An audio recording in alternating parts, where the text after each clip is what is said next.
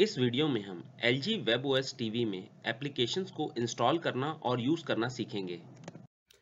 जैसे किसी भी स्मार्टफ़ोन में एप्लीकेशन को इंस्टॉल करने के लिए प्ले स्टोर में गूगल आईडी लॉगिन करनी होती है। सेम एल जी टीवी में अगर कोई भी एप्लीकेशन हमें इंस्टॉल करना है तो टीवी के अंदर एल जी अकाउंट लॉगिन करना है। उसके लिए कस्टमर के टीवी और स्मार्टफ़ोन को सेम वाईफाई से कनेक्ट करेंगे और स्मार्टफ़ोन में प्ले स्टोर से L G ThinQ U application search करके इंस्टॉल करेंगे। सी आप यहाँ पर L G ThinQ U application का आइकन देख पा रहे हैं। ये एप्लीकेशन आपको प्ले स्टोर एंड्रॉयड के लिए and app store iOS Apple phone के लिए मिल जाएगी।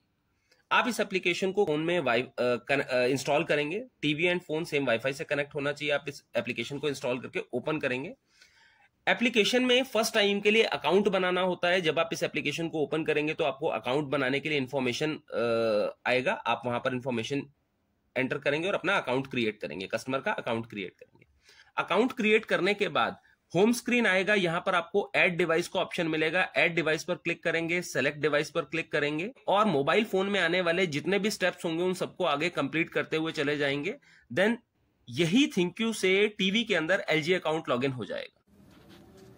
स्क्रीन पर किसी भी समय यूज़र एग्रीमेंट्स आने पर सेलेक्ट ऑल पर क्लिक करें मोर के ऊपर क्लिक करें एग्री पर क्लिक करें। सभी यूज़र एग्रीमेंट्स हमें एक्सेप्ट करना है मैंडेटरी है। थिंक यू से एलजी अकाउंट टीवी में लॉगिन होने के बाद मोबाइल थिंक यू एप्लीकेशन में आप देखेंगे टीवी का आइकन आपको ब्लू कलर में दिखने लगेगा। इसके ऊपर क्लिक करके आप टीवी का कंप्लीट रिमोट अपने मोबाइल से एक्सेस कर सकते हैं। सी यहाँ पर आपको रिमोट कंट्रोल का ऑप्शन मिल रहा है। व्यू ऑल के ऊपर जाएँगे। यहाँ से आपको पूरा रिमोट ऑप्शन मिल जाएगा। Volume plus minus home channel up down mute back input settings और ये आपका पॉइंटर सी आप देख पा रहे हैं।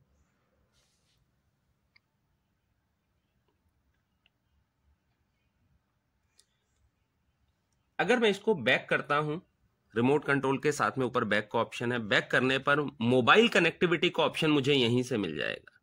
यहाँ से मैं स्क्रीन मिररिंग कर सकता हूँ इस ऑप्शन पर क्लिक करके। इस ऑप्शन पर क्लिक करके फ़ोन का साउंड टीवी में ला सकता हूँ। टीवी को एक ब्लूटूथ स्पीकर की तरह फ़ोन के साथ यूज़ किया जा सकता है। यहाँ अगर मैं क्लिक करता हूँ नेक्स्ट ऑप्शन पर तो फ़ोन के अंदर अगर कोई फ़ोटो वीडियो या म्यूज़िक है तो वो मैं टीवी पर प्ले कर सकता हूँ। यदि फ़ोन में कोई डाउनलोडेड मीडिया फ़ाइल है।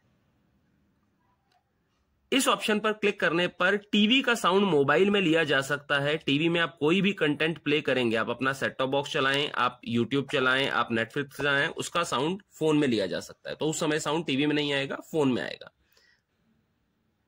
नीचे आपको टीवी के अंदर जितनी भी एप्स इंस्टॉल्ड हैं, उसको एक्सेस करने का ऑप्शन मिल जाएगा। यहाँ पर आप किसी भी एप्लीकेशन पर क्लिक करेंगे, वो एप्लीकेशन डायरेक्टली टीवी स्क्रीन पर ओपन हो जाएगी। सी नेटफ्लिक्स एप्लीकेशन टीवी पर ओपन हो रहा है।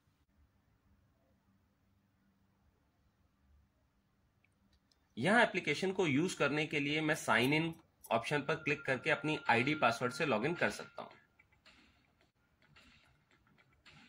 अब अगर टीवी के रिमोट से हमें कुछ एप्लीकेशंस का यूज़ करना है तो टीवी के रिमोट में होम बटन दिया गया है, इसको हम प्रेस करेंगे।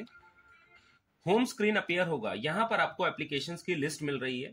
जो एप्लीकेशन टीवी में इंस्टॉल्ड हैं, उन सभी एप्लीकेशन के आइकन आपको यहाँ दिख जाएँगे। जैसे कि यूट्यूब आप यहाँ यूट्यूब पर क्लिक करके यूट्यूब ओपन कर सकते हैं। यूट्यूब ओपन हो गया है। सो so, यहाँ आप यूट्यूब पर किसी भी कंटेंट को सिलेक्ट करके प्ले कर सकते हैं स्क्रॉल कर सकते हैं जैसा कि मैंने आपको रिमोट में बताया था स्क्रॉल का ऑप्शन है आप स्क्रॉल कर सकते हैं। साथ ही में सर्च का ऑप्शन आपको यूट्यूब में यहाँ मिल रहा है इसमें जाकर कोई भी कंटेंट आप सर्च करना चाहें कर सकते हैं।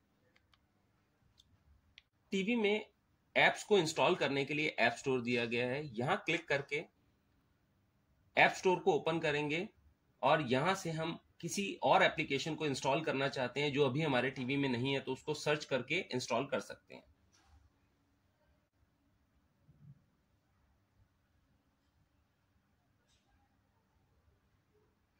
ऐप स्टोर में आपको कैटेगरी वाइज एप्स देखने को मिल जाएँगी, जैसे फीचर्ड एंटरटेनमेंट पर जाएँगे तो एंटरटेनमेंट रिलेटेड एप्लीकेशंस गेम पर जाएँगे तो गेम्स रिलेटेड एप्लीकेशंस न्यूज़ पर जाने पर न्यूज़ एंड इंफॉर्मेशन की एप्लीकेशंस इसी तरीके से ये कैटेगरीज आपको देखने को मिल रही हैं। आप डायरेक्टली एप्लीकेशन के नाम से सर्च करने के लिए सर्च आइकन पर क्लिक करेंगे। एप्लीकेशन का नाम टाइप करेंगे। जैसे हम यहाँ पर सोनी लिव एप्लीकेशन इंस्टॉल करना चाह रहे हैं। सर्च पर क्लिक किया।